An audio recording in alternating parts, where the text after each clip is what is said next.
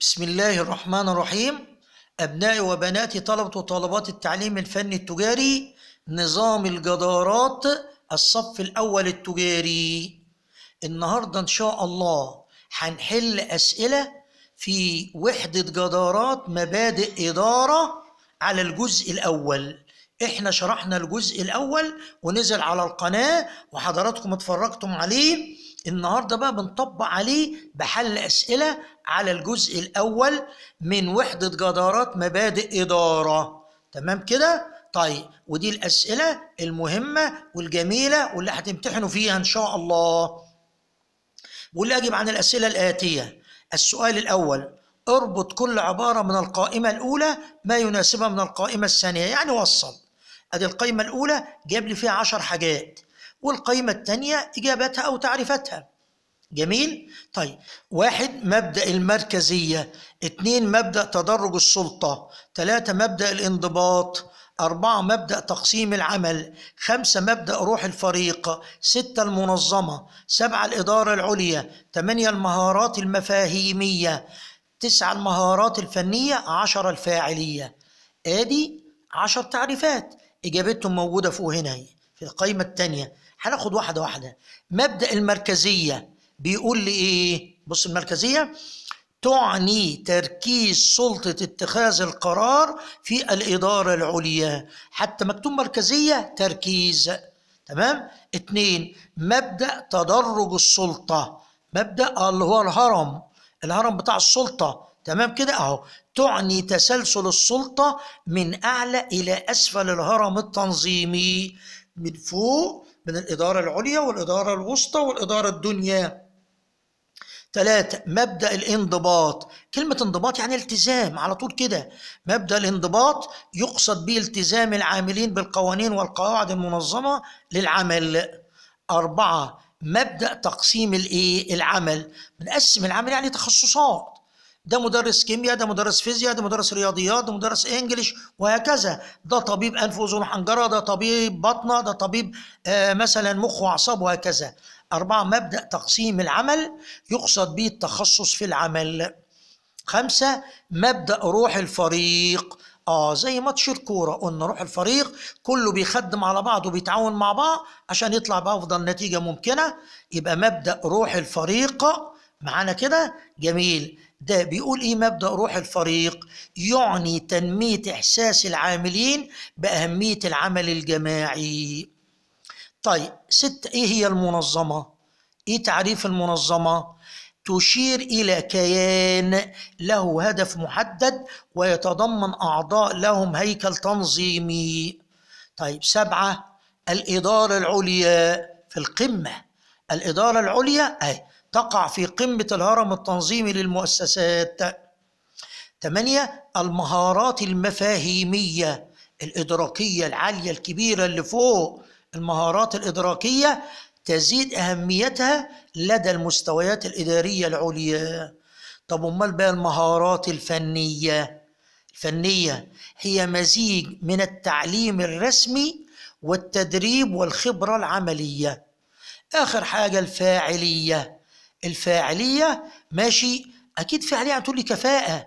الفاعلية يعني إيه؟ تعني القيام بالأشياء الصحيحة وبالتالي فهي تمثل تحقيق الأهداف. ده كان السؤال الأول. السؤال الثاني اختر الإجابة الصحيحة. خلاص؟ جملة ناقصة كلمة لها ثلاث إجابات. بقول لي الإدارة نقط لأنها تتطلب مهارات. أول ما تلاقي كلمة مهارات تقول لي فن. لأنها تتطلب مهارات لتطبيق العلم من أجل تحقيق أفضل النتائج. فبقول الإدارة يا ترى علم ولا فن ولا مهنة؟ خد بالك لو علم يدرس خلاص كده؟ آه فن يطبق. آه يبقى الإدارة فن لأنها تتطلب مهارات لتطبيق العلم من أجل تحقيق أفضل النتائج. اتنين مبدأ إيه؟ يقصد به أن يتلقى العامل أوامره من مدير واحد فقط. شرحها أنا في النظري اللي هو اسمه مبدأ وحدة الأمر. ساعتها قلت لك أنت شغال في إدارة المشتريات؟ لك مدير اسمه مدير إدارة المشتريات تاخد تعليماتك كلها منه هو. مفيش يبقى مدير أي إدارة تانية يقدر يديك تعليمات. يبقى مبدأ كاتب لي الانضباط ولا وحدة التوجيه ولا وحدة الأمر يبقى مبدأ وحدة الأمر يقصد به أن يتلقى العامل أوامره من مدير واحد إيه فقط. ثلاثة نقط هي الحق. أول ما تلاقي الحق تقول السلطة السلطة هي الحق على طول. خلاص؟ طب أما المسؤولية هي الالتزام بالتنفيذ. يبقى هنا بقول نقط هي الحق في إصدار الأوامر وإلزام الآخرين بتنفيذها. يا ترى هل هي السلطة ولا المسؤولية ولا المركزية؟ بقول له السلطة. أربعة نقط تختص بتنفيذ السياسة بص العامة للدولة. سياسة عامة يبقى الإدارة العامة. على طول سياسة عامة للدولة الإدارة العامة. يبقى نقط تختص بتنفيذ السياسة العامة للدولة بما يحقق خدمة الصالح العام. بقول هل يا ترى هي إدارة الأعمال ولا الإدارة العامة ولا الإدارة الإقليمية؟ بقول الإدارة العامة. خمسة نقط تهتم برسم السياسات والاستراتيجيات وتحديد الأهداف الشاملة للمؤسسة دي اللي قاعدة فوق في القمة في التوب اللي هي الإدارة العليا. بيقول لي الإدارة الوسطى ماشي دي اسمها التنفيذية ولا العليا؟ آه ولا التنفيذية هي ماشي اللي هي الدنيا التشغيلية. لا الإدارة العليا تهتم برسم السياسات والاستراتيجيات وتحديد الأهداف الشاملة للمؤسسة. آخر واحدة نقط تعني إرشاد وإرشاد يعني توجيه تعني إرشاد وقيادة الموارد البشرية للعمل بكفاءة وفعالية لتحقيق الأهداف. بقول التوجيه ولا التخطيط ولا التنظيم؟ بقول له التوجيه. تمام كده؟ طيب كده أخذنا سؤالين وصل أو اختر؟ وإيه؟ هنا اختار الإجابة الصحيحة ووصل لسه في أسئلة تانية إن شاء الله هنكملها حالا. طيب نيجي بقى لسؤال تاني اللي هو بيسموه السؤال التقليدي. السؤال الايه التقليدي؟ سؤال مقال ما هي الوظائف الإدارية؟ أو ما هي وظائف الإدارة؟ أو ما هي وظائف المدير؟ أربع حاجات قلت لكم تحفظوهم زي اسمكم. التخطيط والتنظيم والتوجيه والرقابة. تخطيط وتنظيم وتوجيه ورقابة اسمها الوظائف الإدارية. أو وظائف الإدارة أو وظائف المدير. طيب هنا السؤال التالت بيقول يضع علامة صح أمام العبارة الصحيحة وعلامة خطأ أمام العبارة الإيه الخاطئة. تمام؟ صح يا خطأ. واحد الكفاءة تعني فعل الشيء بشكل صحيح وبالتالي فهي تمثل قيمة المخرجات. بقول له فعلا صح الإجابة صحيحة. كفاءة فعل الشيء بشكل صحيح وهي قيمة المخرجات. صح. اتنين الإدارة العامة. أنا لسه بقول عامة. آه يبقى السياسة العامة للدولة. لا قال لي لا. الإدارة العامة تختص بإدارة المشروعات أول ما أقول إدارة مشروعات نقول له لا دي إدارة الأعمال. يبقى الإدارة العامة تختص بإدارة المشروعات. ذات الطابع الاقتصادي الهادف إلى تحقيق الربح خطأ لأن الإدارة العامة لا تهدف إلى تحقيق الربح. اللي بتهدف إلى تحقيق الربح اللي هي إدارة الأعمال اللي هنلاقي معاها تختص بإدارة المشروعات. يبقى العبارة دي خطأ. ثلاثة المسؤولية الله هي الالتزام. ما إحنا قلنا السلطة هي الحق. الحق في إصدار الأوامر. طب والمسؤولية هي الالتزام بتحقيق الأهداف وتعتبر نتيجة طبيعية للسلطة وملازمة لها. وأنا بنشرح قلت لك السلطة والمسؤولية وجهان لعملة واحدة متلازمان. يبقى العبارة صح. أربعة تهدف الإدارة إلى تبسيط إجراءات العمل وتجنب الإسراف والاستخدام الفعال للموارد. العبارة صحيحة. خمسة ترجع أهمية الإدارة إلى المنافسة القوية في الأسواق العالمية والحاجة إلى التجديد والابتكار العبارة صحيحة. ناخد السؤال الرابع هنا. إيش بيقول لي؟ إيه اختر الكلمة الصحيحة وضعها في المكان المناسب. أعطيني خمس كلمات استقرار العاملين الإدارة التعويض المتخصصة العامة. نشوف خمس جمل كل جملة ناقصة كلمة. واحد نقط هي علم تطبيقي شأنها في ذلك شأن الهندسة والطب أو له الإدارة. يبقى الإدارة هي علم تطبيقي شأنها في ذلك شأن الهندسة والطب. اثنين إدارة الهيئات والمنظمات المتخصصة تقدم خدماتها إلى فئات خاصة ولا تهدف إلى تحقيق الربح. يبقى إدارة الهيئات والمنظمات إيه؟ المتخصصة. تقدم خدماتها لفئات خاصة معينة وما تهدفش لتحقيق الربح. لا تهدف لتحقيق الربح. ثلاثة إدارة المؤسسات والهيئات العامة هي مرفق عام. حتى اسمها مرفق عام. يبقى مؤسسات وهيئات عامة. آه مرفق عام إيه؟ يخدم الصالح العام للدولة.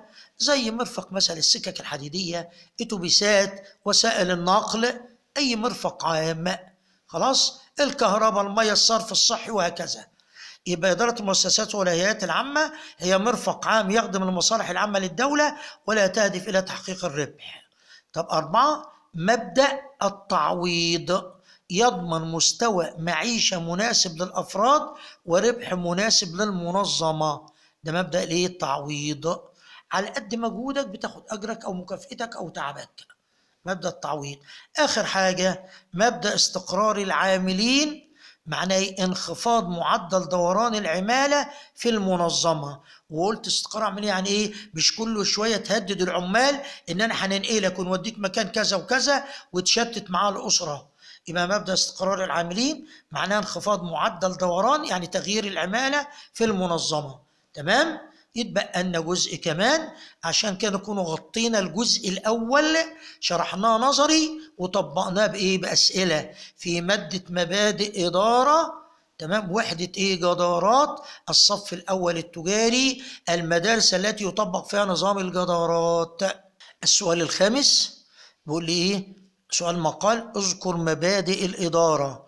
أنا شرح لكم مبادئ الإدارة 12 مبدأ. عايز خمسة منهم. واللي يكتفي بخمسة.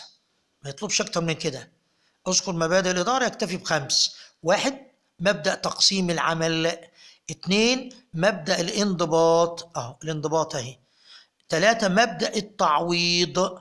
أربعة مبدأ روح الفريق. خمسة مبدأ العدالة. أدي خمس مبادئ من ال 12 مبدأ اللي عندكم.